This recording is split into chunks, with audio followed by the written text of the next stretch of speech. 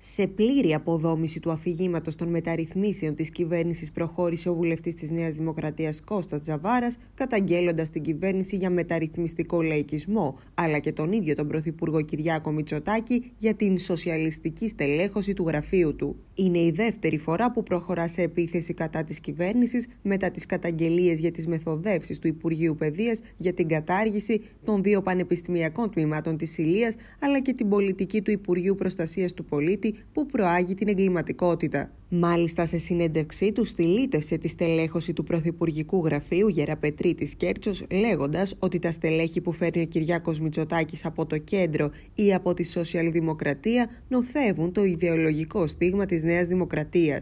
Επίσης, προχώρησε και σε αποκαλύψεις για δημοσιογράφους που τον στοχοποίησαν με την προσμονή μιας μελλοντικής ανταμοιβής.